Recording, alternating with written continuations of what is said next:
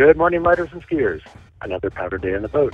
At 5 a.m., we had 6 inches of new snow at Mid Mountain and 8 inches at the summit.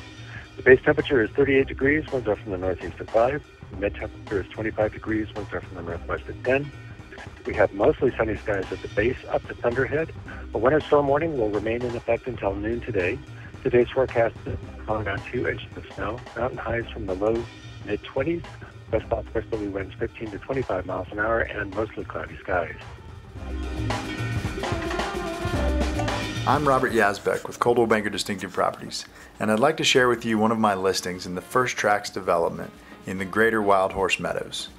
The story really is the amenities here, since my 435 square foot studio, one bed, one bath listing, priced at 210,000, has access to all the amenities of Trailhead Lodge and Wildhorse Meadows, which are truly some of the best in town, including a lap pool, modern grotto style hot tubs complete with fire features and waterfalls, a state of the art workout facility, game room for the kids, and of course the Wildhorse Gondola, which conveniently takes you right to the base area for not only skiing but dining and entertainment as well.